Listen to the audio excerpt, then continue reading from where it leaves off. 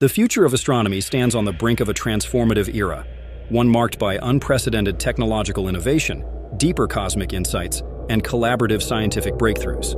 At the forefront are next-generation telescopes like the James Webb Space Telescope, JWST, the Extremely Large Telescope, ELT, and the Square Kilometer Array, SKA. JWST, already delivering dazzling images of the early universe, is unlocking the atmospheres of exoplanets and tracing galaxies back to their formation. ELT, with its enormous 39-meter mirror, will allow astronomers to directly observe Earth-like planets in distant star systems, potentially identifying signs of life. Meanwhile, the SKA, the largest radio telescope ever built, will scan the sky with unmatched sensitivity, probing cosmic magnetism, galaxy formation, and even the elusive dark matter. But the coming age of astronomy isn't limited to light alone. Multi-messenger astronomy has arrived, combining gravitational waves, neutrinos, and electromagnetic observations to explore the universe in richer dimensions.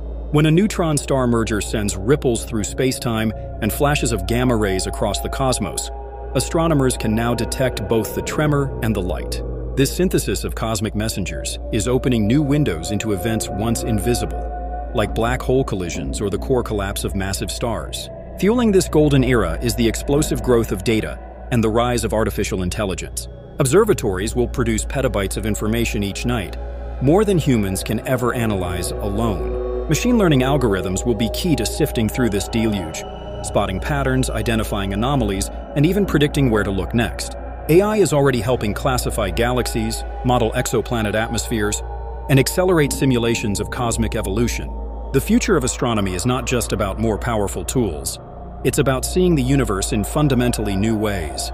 From decoding the birth of stars and galaxies to potentially discovering biosignatures on exoplanets, we are entering a time when questions once thought impossible may finally find answers.